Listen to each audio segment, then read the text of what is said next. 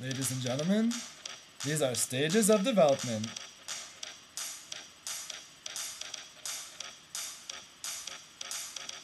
One, two, three, four, five, eight stages of being alive. Erikson's crisis of lifespan, not catastrophic, but immense potential. Increased vulnerability in all eight stages of you and me. You're an infant, a child, a teen, adult, and as you grow up, you know there are results.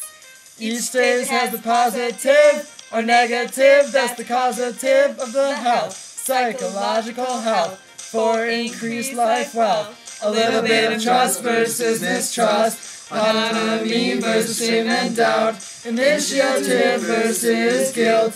Industry versus inferiority. Identity versus confusion. Intimacy versus isolation. Generativity versus stagnation. Integrity versus despair.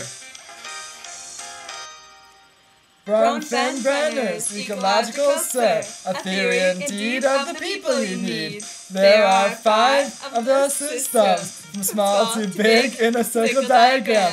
Interpersonal interactions to influences of culture. Individual in my life, a little bit of micro by my side. A little bit of meso's all I need. A little bit of exo's what I see. A little bit of macro in the sun. A little bit of chrono all life long. A little bit of every stage of life. A little bit of it all in my life.